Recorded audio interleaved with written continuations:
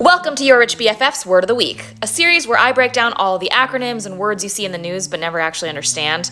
This week, our word is ETF. ETF stands for Exchange Traded Fund, and essentially it's a big old basket of different investments. If you're a commitment phobe and you don't have enough conviction in any one stock or bond or anything, consider an ETF instead.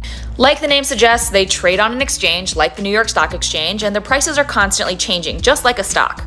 They're also a great way to diversify your portfolio, aka put more and different stuff into it. Think about an ETF like a charcuterie board. You love brie, but would you want to eat an entire wheel of it by yourself? Probably not.